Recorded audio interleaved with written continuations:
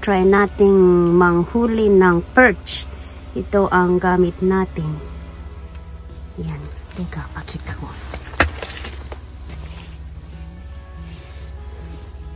Ito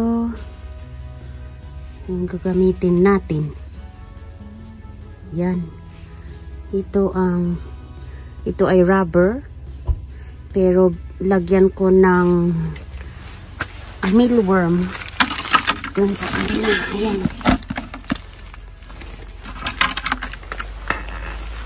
Dagdagan ko ng mealworm. Ito.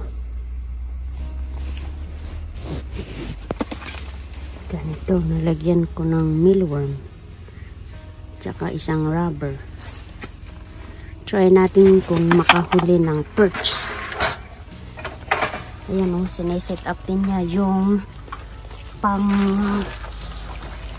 heater natin.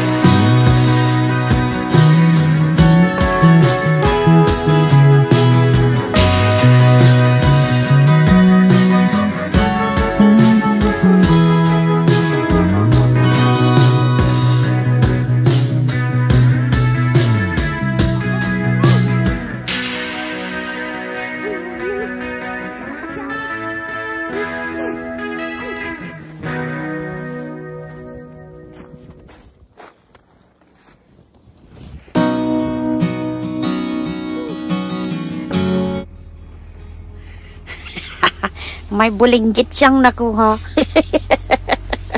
Liit. Balik natin.